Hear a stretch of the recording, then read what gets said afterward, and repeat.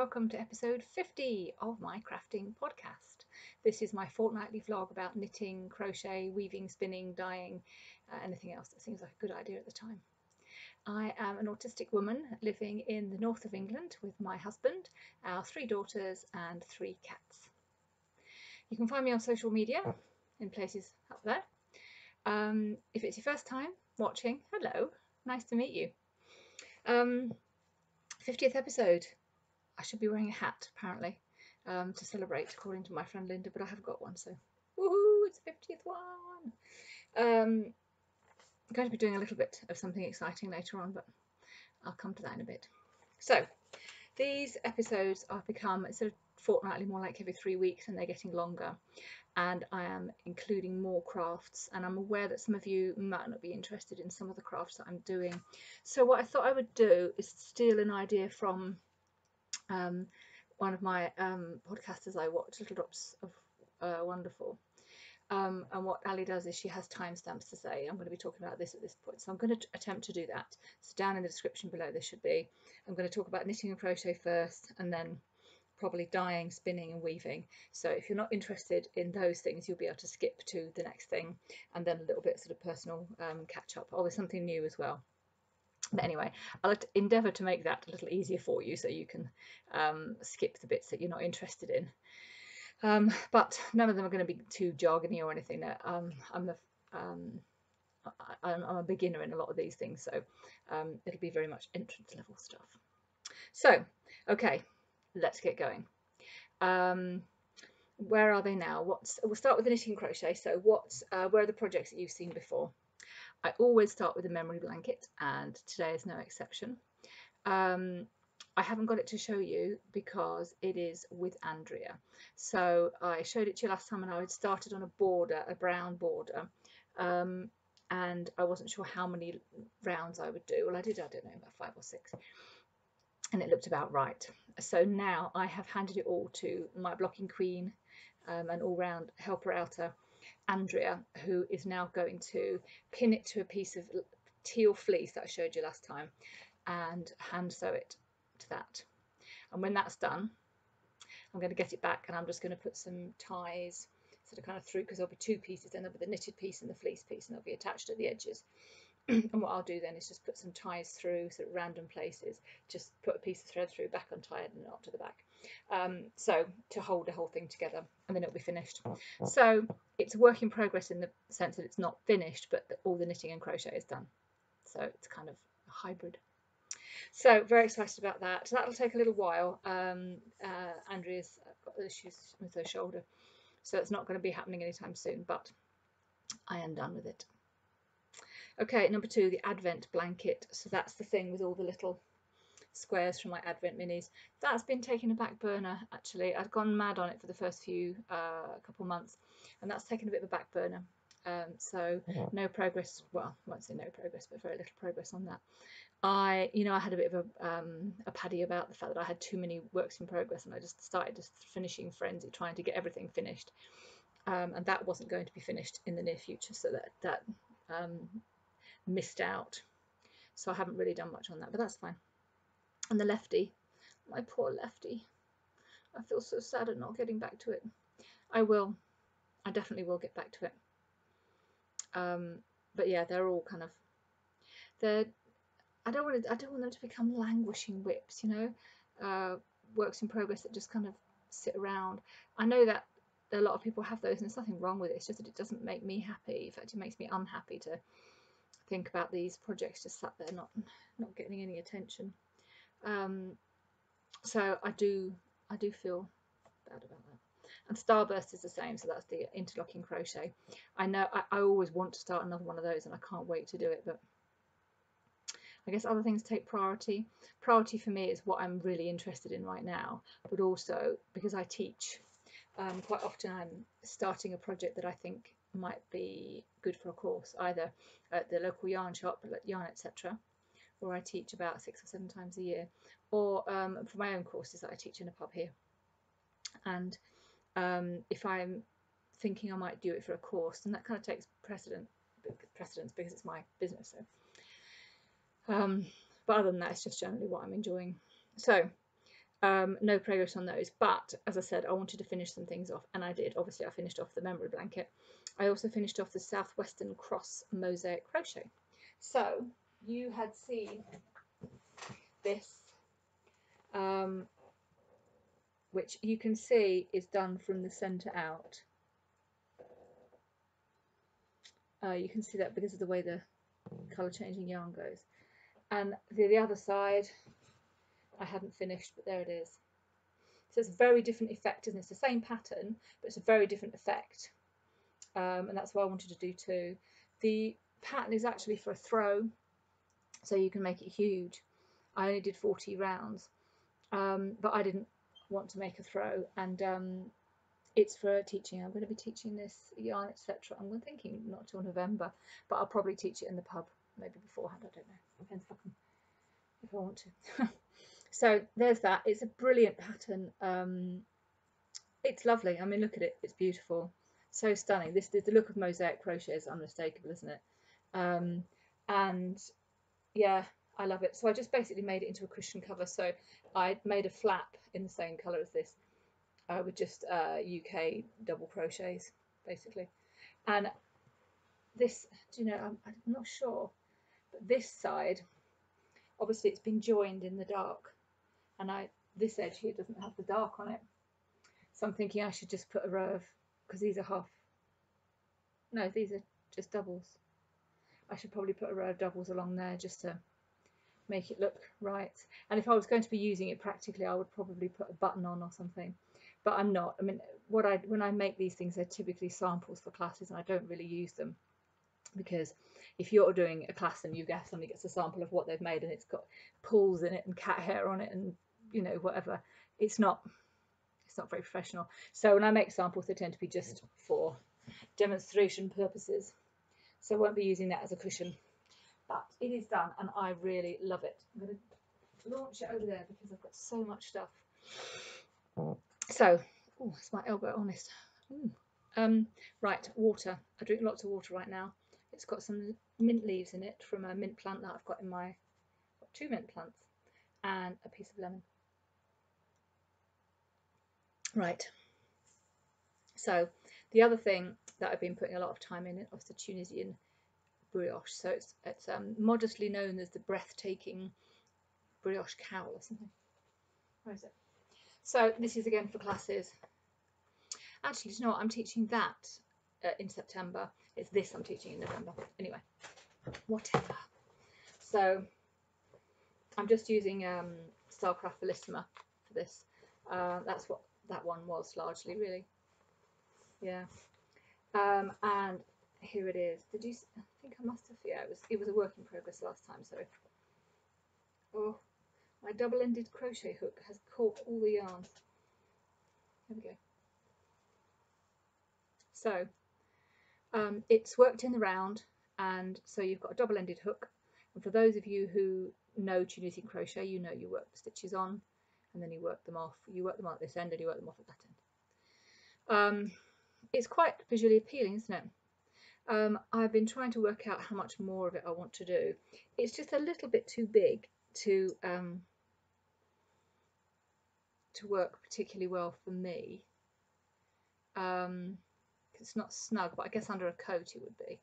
It curls at the bottom, which, I mean, Tunisian crochet always curls. Uh, most uh, knitted or crocheted fabric curls at some point.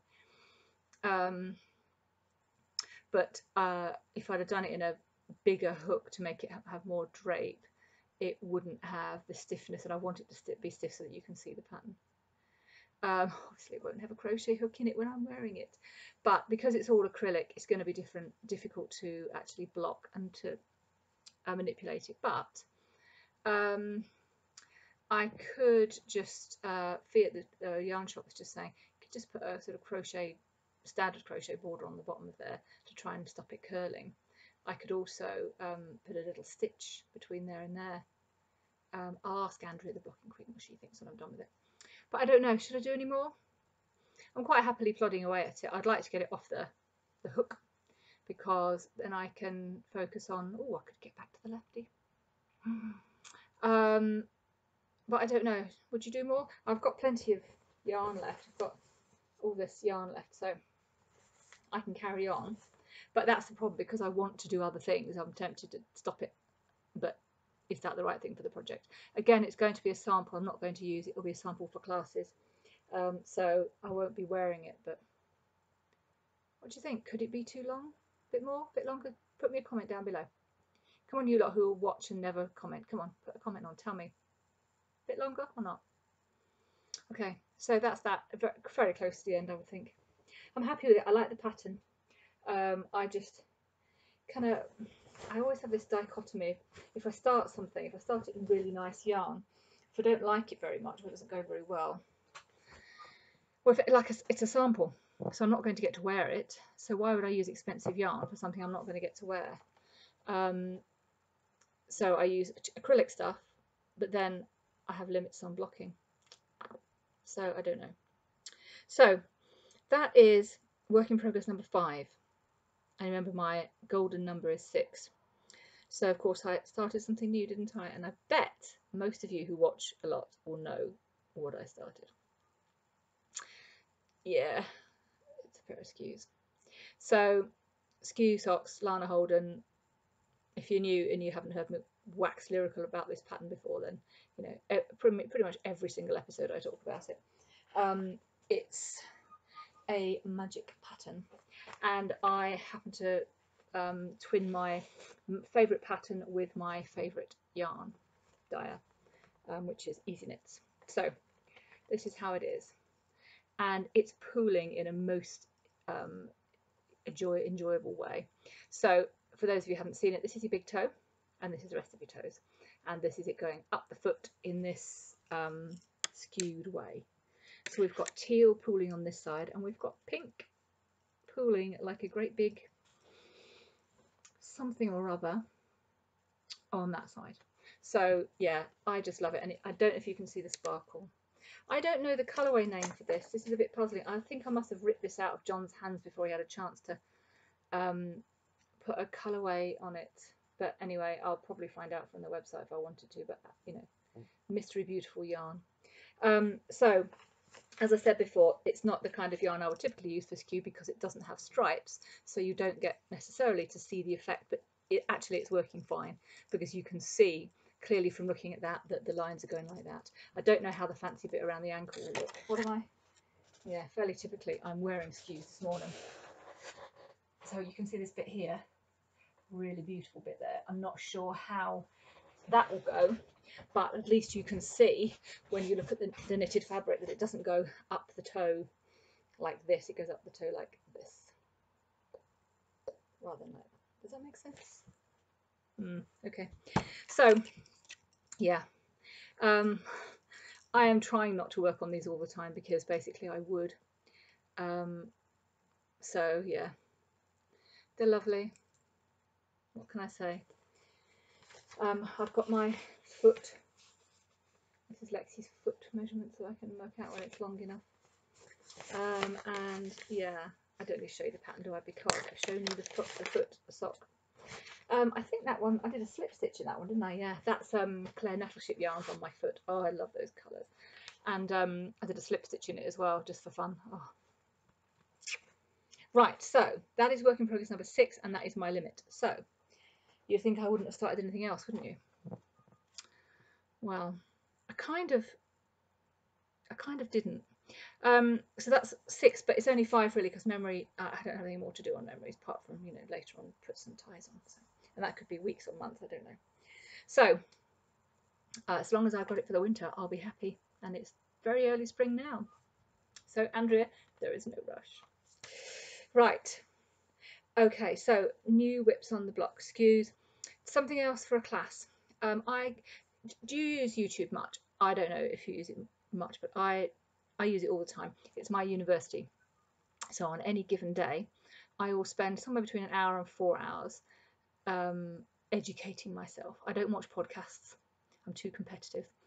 Um, I, I, watch Gemma B Makes, and that's pretty much the only podcast that I actually watch anymore, um, which is terrible. Um, but I watch instructional videos, and at any given point, I have remember I'm autistic, so I do things a bit differently probably to a lot of you.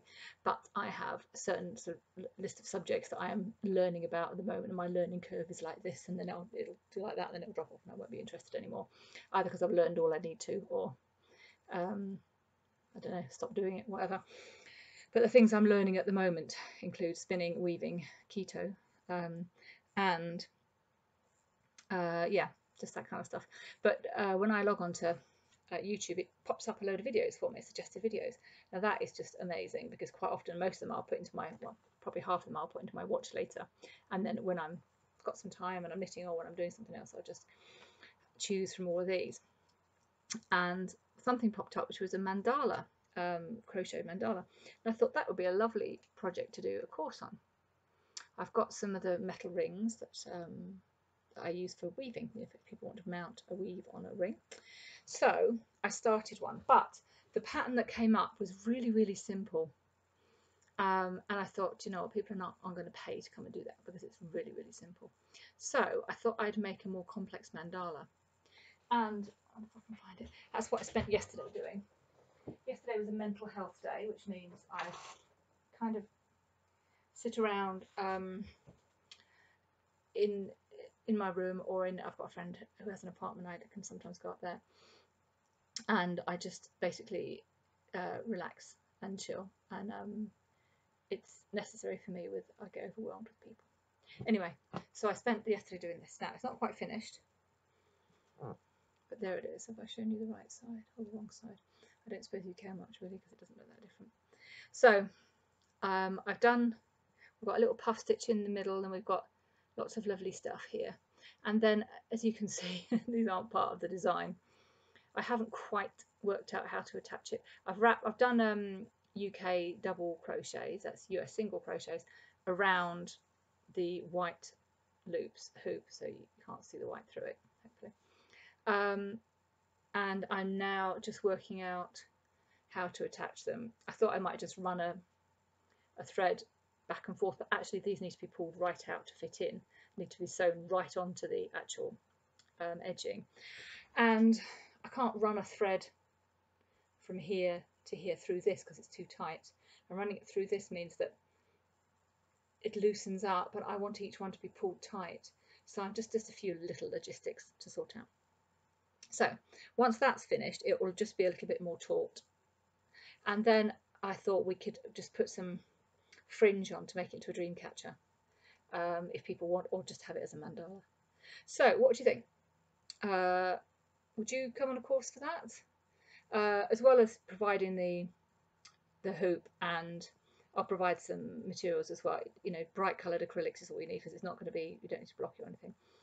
I thought would also look at some of the techniques that, of, of, circular crochet that just finesse it a little bit like the invisible join and standing um, start with stitches rather than doing chains and things. Um, just to sort of some of the finessing of, of mandala crochet. And then just, you know, provide everything. So you, as long as you can crochet, you, you just turn up and uh, you, you leave with one of these. And if it's not finished, then it'll be, you'll have a good idea of how to finish it. Um, yeah, so I like that. And of course, the way you choose the colours um, will completely change it. The one in uh, I was copying from mostly um, was in two colours um, and you so two colours would look quite a lot different. Anyway, okay, so that's that, and that's I'm going to call that a finished object. So I just need a little bit of twiddling to, to finish it off. Um, the other thing that I have started is big. So I did an acrylic pouring workshop uh, a couple months ago with a lovely lady um, called Kylie of Hello Crafter, and it was a brilliant workshop. And I was looking at the other stuff that she did, and she does arm knitting. And I was really interested in that because I thought again it might be something I could teach. So I got a hold of Woolly Mahoosive um, which is a, a business um, based in England which does um, it's in York actually uh, very close to me which does massive yarn. And I'll put a picture of the ball of yarn that I ordered here. And I chose acrylic um, because uh, it's basically roving it's basically top it's, it's not spun at all so um, I just figured that the, the acrylic would wear a bit better than wool So it arrived, and actually it arrived with something else. What was it? Anna at Woolly Mahoosive included this, which is lovely. Um, it's a little kit. It's called the Woolly Mahoosive um, Taster Felting Kit Instructions Mother's Day Edition. So there is a little thing of pink fibre. Isn't it cute? Um, yeah, it's it's the same size as the stuff that the that comes for the arm knitting. I've got a bit cardboard on that. Um, and yeah, I think it's the same stuff. Um, but then it's yeah. Anyway, it's very cute, and it also a couple of sponges with a couple of felting needles in there. If you haven't seen felting needles before, let's show you one. Got a little barb at the end, which you won't be able to see. Um, let's put that back in before I stab myself with it. And um, a little cookie cutter in a heart. So basically what you do is you put your heart onto the there, you put some fibre in there and then you just tap, tap, tap. It sounds like a dog scratching themselves, it's lovely. And then you just keep going and then um, firm it all up and then when it, it comes off and it's a little heart. Um, really, really cute. So that was lovely. It's a free gift put in there. Thank you very much, Anna. Um, so that came as an extra. It's rustling, noisy, noisy beast. Right. Okay. So what I actually ordered was that that big yarn, and in about an hour, well, actually a little bit longer because it took me quite a long time to get the cast on right. Um, I did a, a long tail cast on and trying to work out exactly how much yarn I would need. I had to do it three or four times, which is fine. Actually, maybe four or five. But here it is.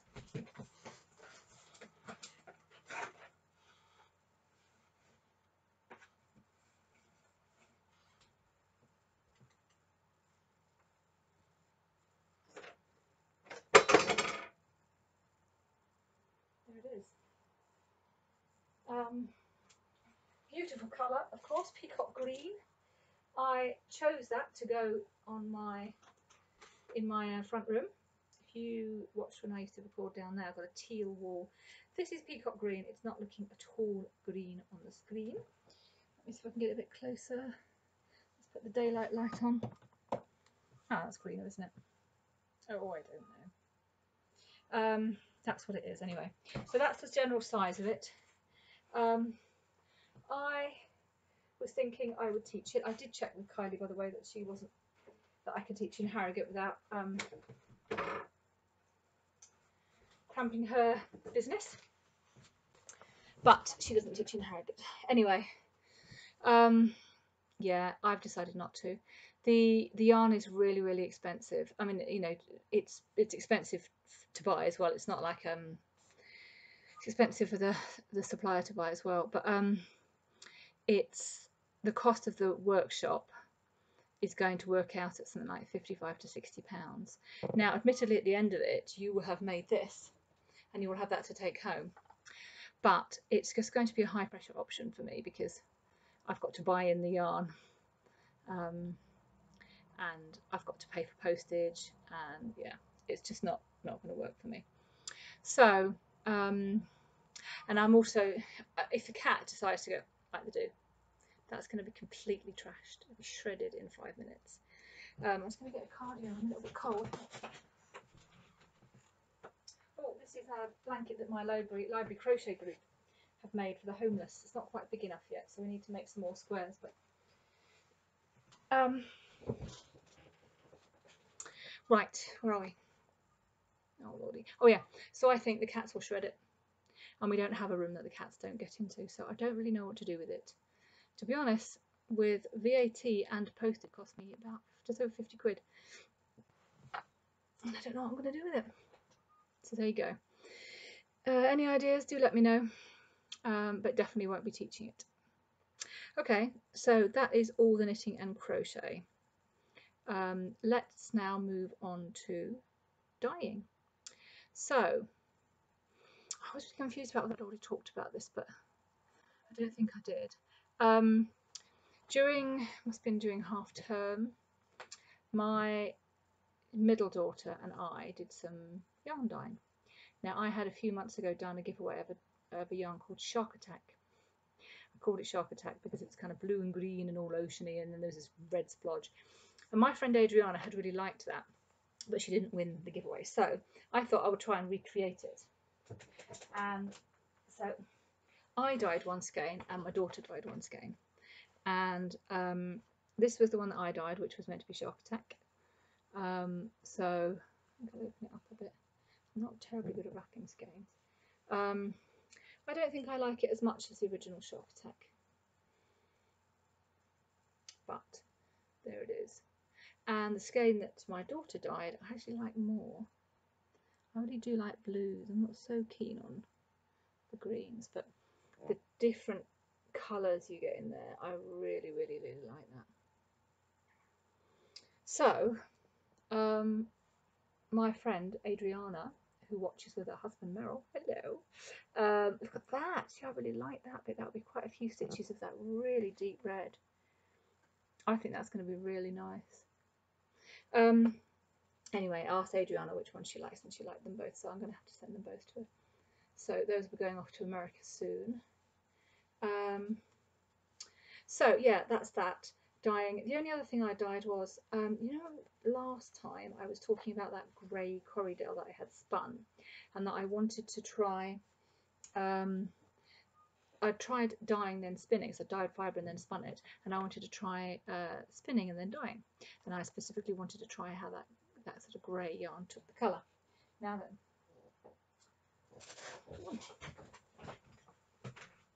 Ah, Sorry, so I can cut that bit out. Um, so I dyed that skein. One of those skeins are grey, and, and I just I wish I'd stopped dyeing in this particular way because I don't like it. I'd got uh, I wanted to do I'd already started a weave that was in purple and teal, so I thought okay I want to do purple and teal. I, the teal was nice. I'd got plenty of teal in it, but I'd got some white patches as well, and I wanted to put the purple on them.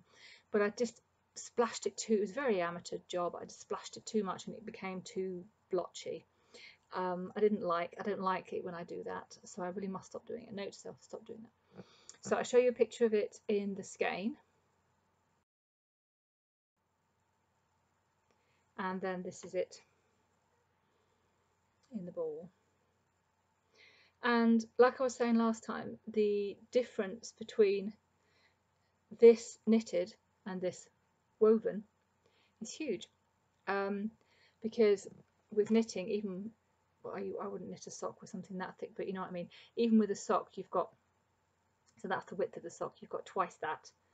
Um, and yeah, that's because I wouldn't knit a sock, something like that. Um, but uh, say with a shawl or something, you'd, you, in the, that colour change would change randomly, um, and it, it doesn't look nice to me.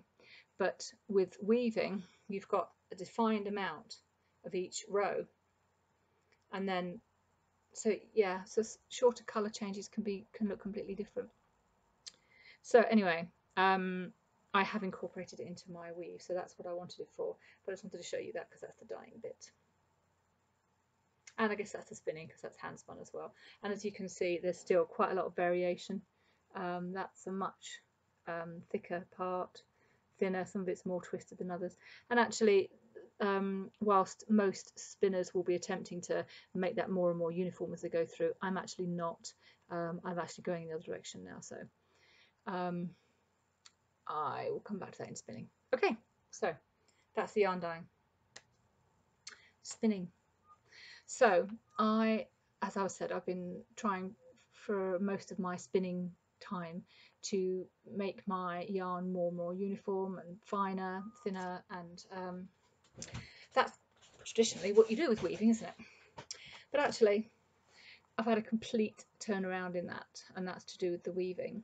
Um, maybe I should do weaving first. Let's do weaving first. So um, I showed you the first things that I made last time and then I had a, what I called a sampler on the loom when I spoke to you last. So this was me trying out. I had a solid colour, um, no I didn't, I had a variegated green um, warp, so that's the long bit, and as you're coming across and doing the weft that was just meant to be a solid purple and I was trying out different stitches. But then I ran out of stitches to try and I started trying out other things. I got very inspired by um, a lady called Stacey who is Urban Gypsy on um, uh, well everywhere but uh, certainly on uh, YouTube. And I was totally inspired. She does art weaving. And that basically means no rules. Um, just do what you want you can't get it wrong just do it. And that just completely makes sense to me. So I started she, she recommended you get these little she calls them tongue depressors. I guess you know if you're giving looking at somebody's throat and you put a thing down there on their tongue to hold it down I don't know. But um, I went onto Amazon I found these little wooden sticks there. Uh, they're sort of waxing so if you're putting wax onto somebody's um, legs or face or whatever you, use wooden and I, think the fill waxing strips the tongue depressors. Anyway I bought a big pack of those and I gave half of them to Andrea because she's on this wonderful weaving journey with me as well although she's kind of a bit more on the straight of straight and narrow. I've gone off over here playing madly and she's on the straight and narrow here. So I gave her some anyway. And the idea is that you get weird wonderful yarns you just got a little bit of and you wrap them on the, the tongue depressor and then sorry the waxing waxing stick. And then um, you just use that to go through and to weave with a small amount of uh, a fancy yarn or something really nice. And then you change your colors quite often. Um, so uh, I bought some of those as I and I started using them and I just went to my stash. And because I teach weaving circular I have a massive stash of weird and wonderful stuff. So I just went there thought right what roughly suits this kind of vibe? And picked a whole load of stuff up and just went mad. Absolutely went mad. Not as mad as I as I was going to. But let me find it for you because it's finished. So, oh, there it is. Sorry about keep getting up now. Just got so much stuff.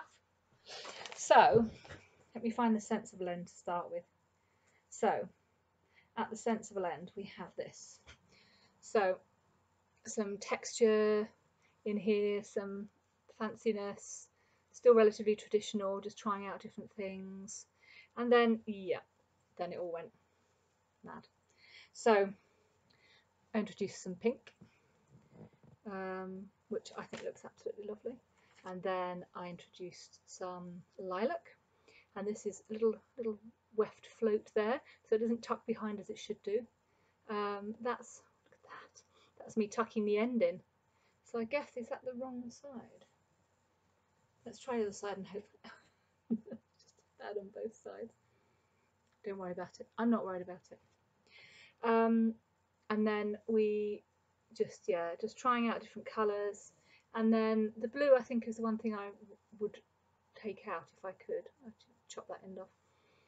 And then um, some fairy stuff.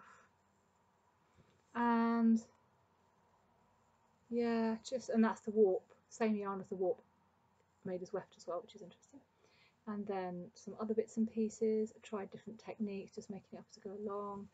Oh, and this is interesting. This is called clasped weft. Can you see that? looks like a skyline, doesn't it? City skyline. And then here I've got some, I don't think you can see on that side. On that side is better. Some little floats, so little bits that don't go where they're meant to do with the under over.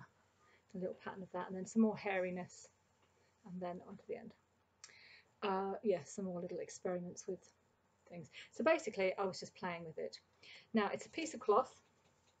It's a little bit mad. I don't know what you would use it for. It is a little bit wider than your average scarf. Well, no, maybe it isn't actually. So I think it's, um, and I've got really long fringe because that's just what I had left and I haven't trimmed it.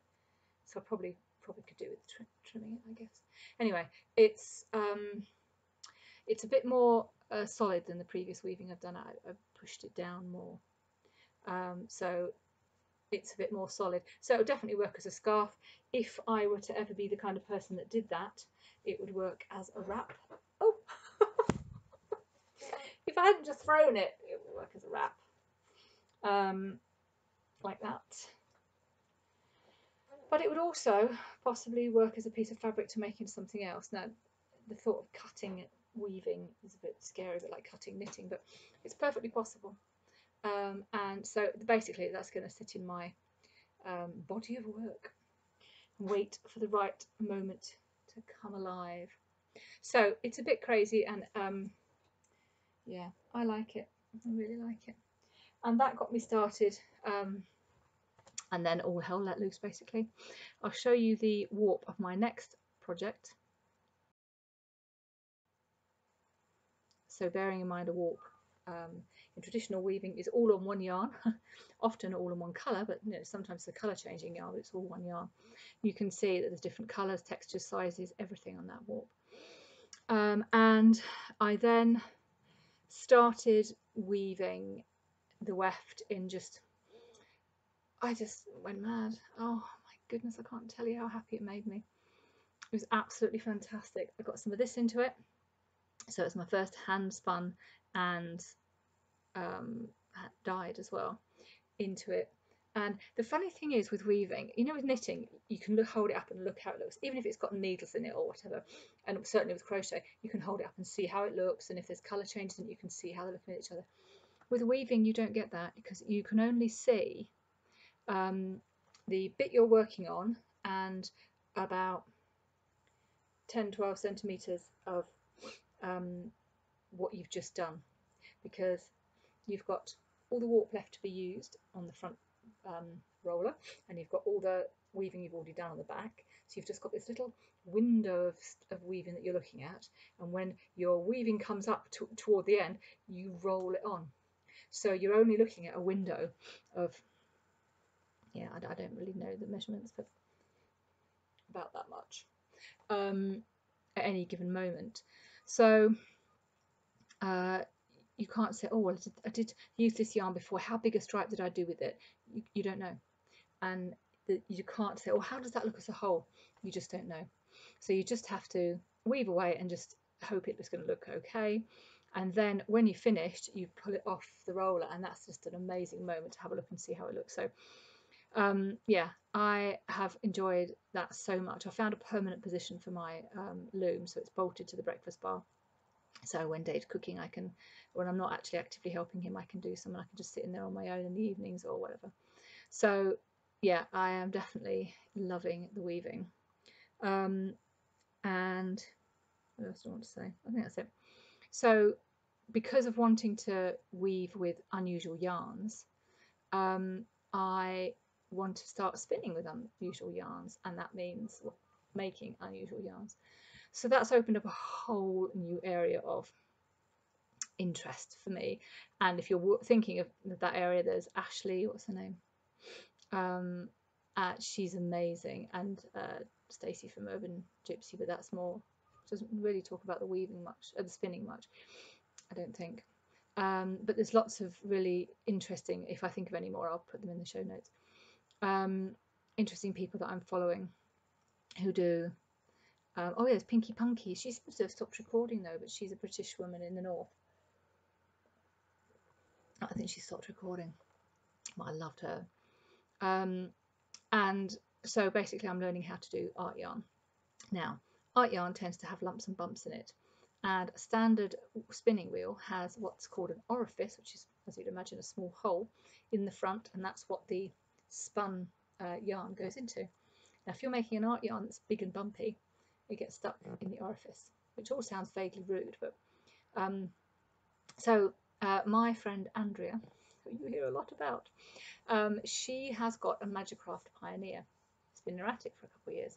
So that has doesn't have a little hole orifice. It's got a, a large um, ring so it's much much uh, better suited for art yarn and it's got a massive bobbin as well so you can imagine a little bobbin that's designed for you to be spinning really nice fine yarn and you put in this great big bobbly stuff on it the bobbin fills up in five minutes so it's a massive bobbin and a big orifice so I have borrowed that I am fostering it until further notice and it is amazing. So it's a different way of using a wheel. Mine's got one pedal.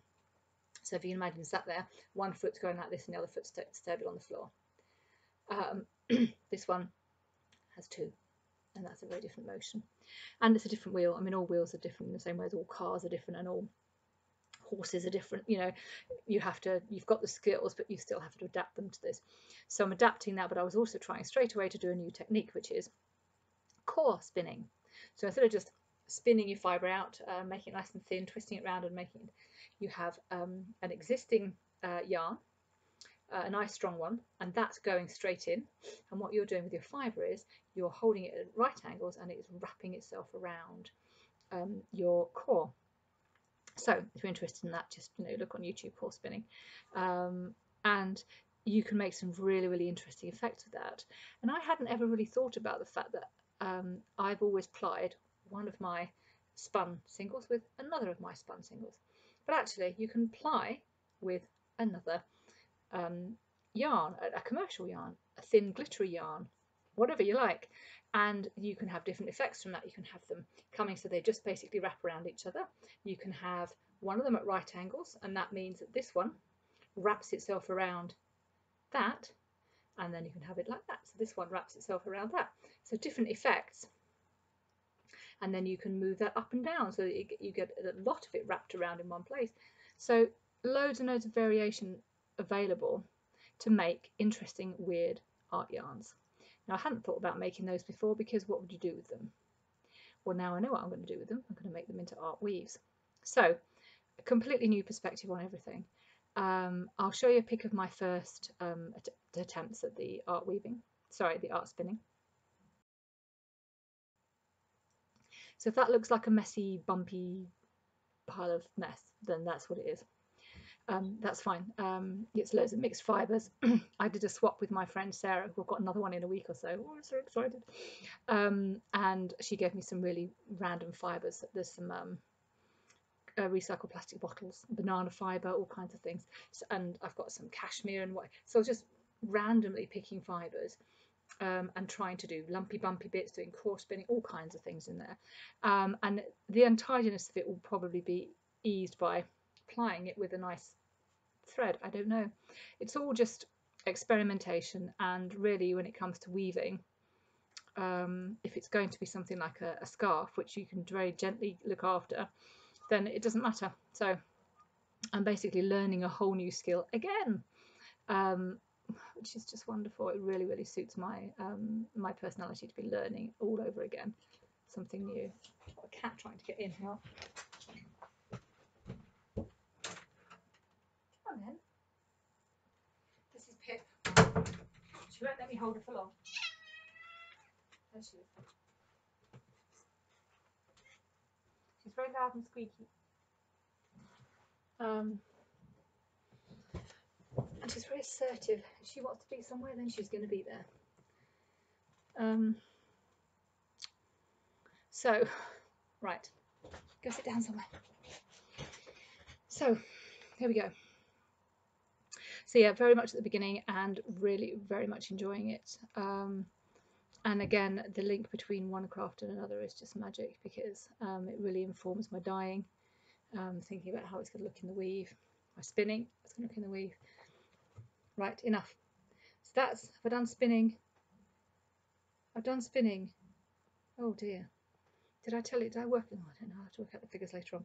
So I've done dyeing spinning weaving. Something new. Um, because I decided I was going to do this art weaving, I went to the Cone Exchange. Now, if you're local to the north of England and you haven't been to the Cone Exchange, um, it's amazing. Uh, it's a charity shop effectively for craft stuff. But more than that, um, it is run by some really great people, um, but it is funded by Betty's and Taylor. So Betty's Cafe, you know, the really posh cafes in Harrogate, and there's probably one in York or something and Taylor's teas. Um, they all of their industrial offcuts go to the cone exchange. Um, so if they're making some cloth and they've got cones that have uh, part used and uh, they'll go there. And a load of other companies also um, send their stuff there, so they're kind of diverted from landfill, as it were. And then th they're sold there. So I have talked about Cone Exchange before, so I won't go into it too much. But um, I went there and I bought this lot.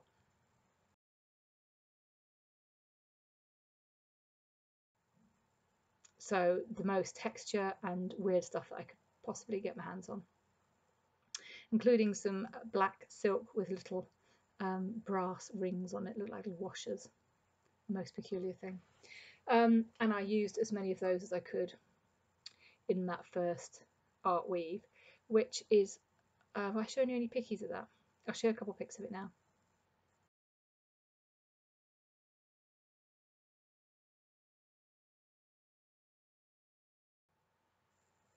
So it's near the end and I'm very sad about that because I want to carry on weaving it, but it is near the end and I'll be able to show you that next time. Um, but what I basically did was decided on a, um, a colour scheme, which was interestingly teal and purple. And I um, I then gathered all the stuff from what I bought, which I think I'd kind of bought with this weave in mind. I don't know if I'd already started it. Um, but those are two of my favourite colours anyway. Um, just making sure the cat, cat isn't attacking the, uh, the arm knitting. Selected a, a group of yarns I thought would go together and I put them all down. And then I've just picked up bits as, as I want to go as, as I go along. So that's the cone exchange. Also something new, I've shown you that, twisted yarns. So my twisted yarns um, monthly box came and it had some bulbs to grow some plants, which is downstairs ready to plant. It had a little local beeswax candle. So they're local to Hertfordshire, which is actually where my husband is from. So There's a cute little beeswax candle there. And the yarn, how awesome is that? So it's called Daffodil. It's chunky and it's superwash merino. So it's it's really soft and lovely. I don't know what I would do with it. Um, Louisa, who runs Twisted Yarn, suggested a cowl or a hat. I don't really make hats, but I think I could do a cowl. I don't really wear yellow very often, so I don't know. I shall just have to enjoy that in my stash for a little while and then decide what to do with it. And the only other something new is not really yarn related, but it's this. Okay, right. I am quietly, calmly going to do a giveaway for my 50th episode. I did a giveaway before and um, I made the title of the with video giveaway and um, got a load of people coming to watch it just for the giveaway. And the idea with that is that you attract people for the giveaway and then they stay and carry on watching. That didn't really happen. So um, what ended up happening was the person who won never watched the podcast again, so they never found out they'd won. Um, and that was a bit depressing for me. It's a nice idea to bring new people in, but actually, uh, I'd rather do something for the people who watch all the time, so the 50 to 70 of you who watch it every time. So I'm not going to announce the giveaway on um, anything. I'm just going to quietly tell you guys I'm doing a giveaway. So trying to think about what to do. You know how random my dying is. It's, um, yeah, I, I, I, can make a decision about what technique I'm going to use and what colours I'm going to use, but I can't make a decision about what the outcome is going to be because I don't know. So what I thought I would do is, anybody who is watching at this point, um, please put a comment below or what your favourite colour is. Don't be too specific because I'm not that great with colours, so it might be, um, don't go with burnt orange or mushroom or something like that. Just go with the general sort of family of colours you like. I like I like light blues or I, I, I like um, lilacs or whatever. Tell me what you like. Um, that's all you need to do, and then I will draw um, in a week or so. I will draw somebody out from that, and then I will dye a skein of yarn in the colour or colours that you've suggested, um, and we will see how it comes out. So um, it will be sock yarn because that's what I have. I don't have any DK. Um, so that's the giveaway. All you need to do is just post down below. Okay, um, on to a bit of personal stuff. Um, the keto is going really well. I have had some stomach aches and some constipation and things like that, but I think I'm coming out the other side of that now. It's been for, it's my fifth week, I think. Although I did start a little bit early, so I might already be at five weeks. So the original aim was to help with an inflammatory skin condition I have. I'm not sure whether it's worked for that yet. It certainly hasn't got any worse. Um, it was also to help with the pain in my hands, which it has done brilliantly. Um, I have no pain in my hands, and that is so good for me because the thought of having not being able to knit and crochet is just scary. It's like you know not being able to breathe. just can't just can't think about it. Um, I have lost a little bit of weight, um, and the energy that I have is quite amazing. Um, and that's led me to start a new walking goal. So I've been doing a bit more research about exercise, and again, you know, we were always told sort of in the 80s and 90s that you need to no pain, no gain. You need to get out there and do aerobic. Uh, you need to go running and all these things. Well, I don't think now that that's actually a great thing, particularly as I'm not a very fit person now. I mean, I have done triathlons in the past, about five or so years ago, but I'm not a very fit person now. So going running isn't aerobic anymore; it's anaerobic because I can't get enough oxygen in, and uh, that kind of um, exercise produces cortisol, which isn't very good for um, general well-being and weight maintenance and things. So um, actually, it appears that walking is better for general health, and that's better for me anyway because as I'm what about 14 stone 8 at the moment. So um, that weight on my ankles and knees sort of pounding along is not good, but that weight walking is a completely different thing. So um, I have set a walking goal. Now uh, I wanted to do 6,000 steps a day. That's you know bare minimum for a lot of people, but I don't tend to achieve that. Uh, probably two or three times a week. Um, so what I've decided to do is to set a goal and to achieve that. And when I can achieve that seven days in a row, then I'm going to treat myself to a Fitbit because I have my phone in my pocket and that records my steps. But if I have put my phone down somewhere, it doesn't record them. If I haven't, if I'm wearing my PJs and I haven't got a pocket, it doesn't record them.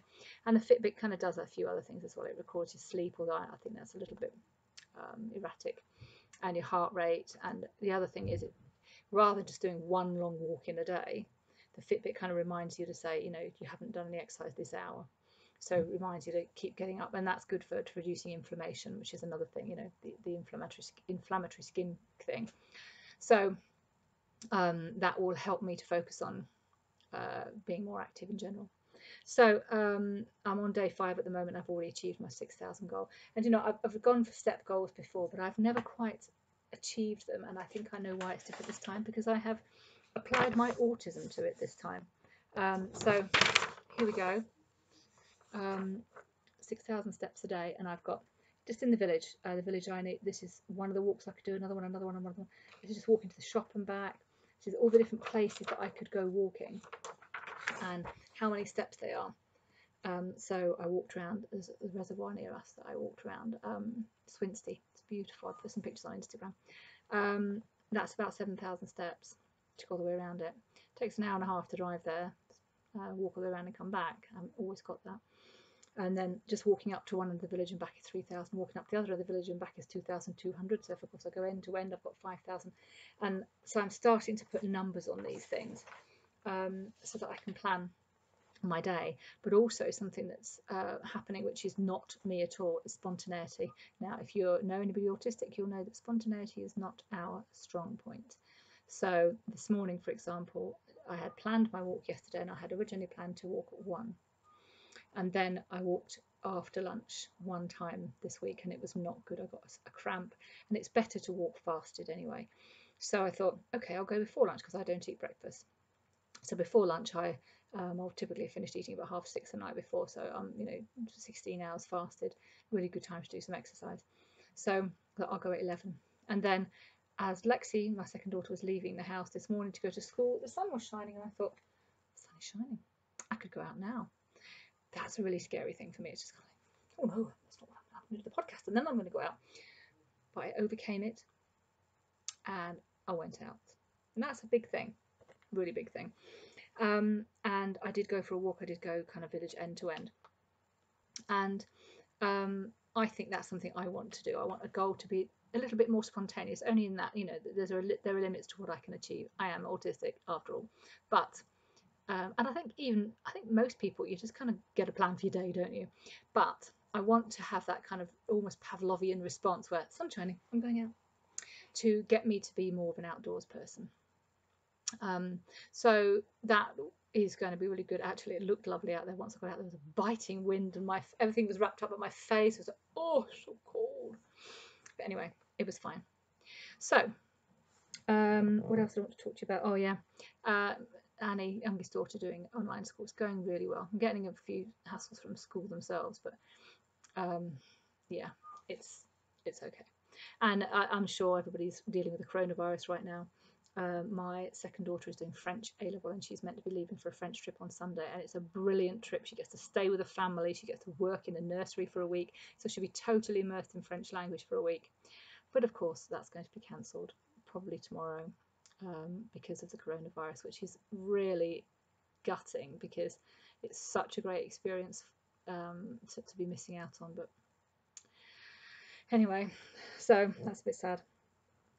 I think that's it It's just under an hour, which is not as bad as I thought it might be. So there we go. If you've got this far, well done. I don't actually know how many people get right to the end. It, it must be quite. Um, I'm sure Kathy does. Kathy, I'm sure you get right to the end, and Adriana, some of my um, long um, acquaintances on the on the uh, podcast.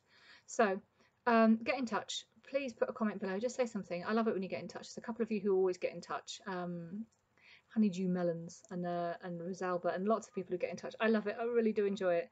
Um, I'm going to put the show notes over on Ravelry. Um, so you can click on the link below and that will take you to everything that I've talked about. Um, but if you want to have the giveaway, just reply with what colour, colourways, colour types you like. You could even, if you want, to say, I, I like, um, well, I can't do self-striping, but yeah, I don't know, just say randomly what colours you like. Um, and then I will pick you out and draw your yarn, uh, dye your yarn for you. Okay, super. Right, um, have a great two or three weeks, or however long it is till I get around to it again. Um, happy crafting, uh, thank you for watching. Bye.